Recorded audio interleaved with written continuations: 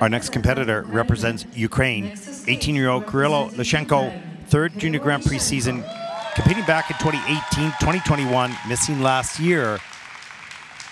So his personal best of 58.54 was from two years ago.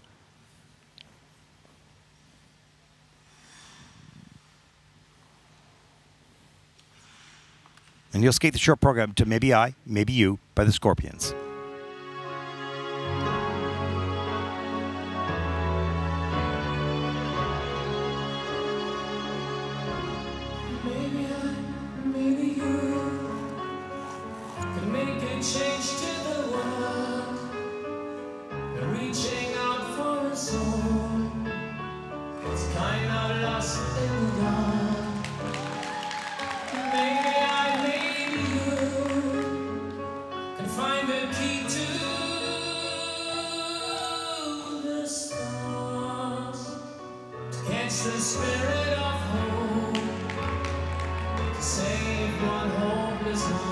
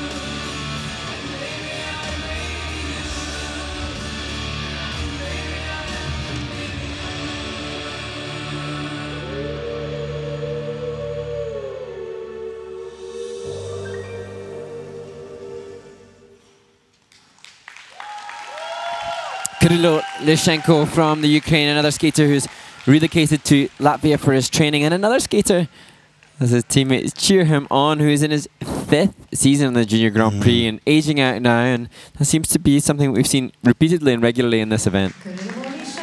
Well, you mentioned over 50% of the junior men are 18 years old, so mm. you're going to have some of these aging out for sure. We'll take a look at some of the program as he gets a nice hug from his coach. And mm.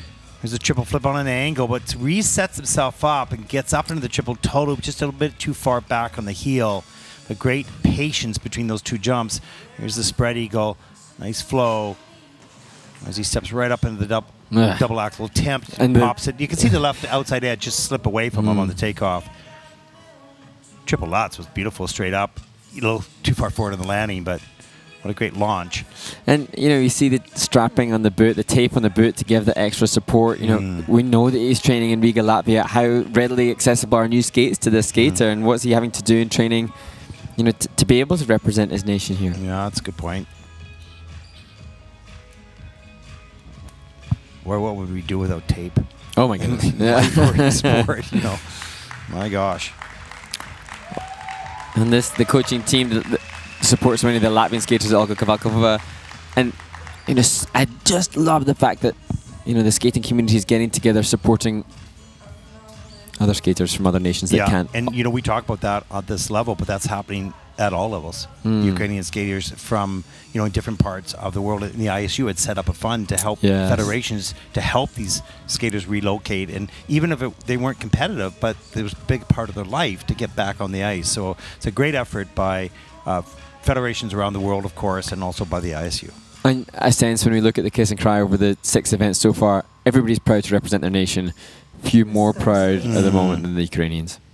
Krylo Liszenko uzyskał w programie krótkim 54 Short program score 54.12 for Kirill Lushenko from Ukraine. That's 11th in the short program. Krylo Liszenko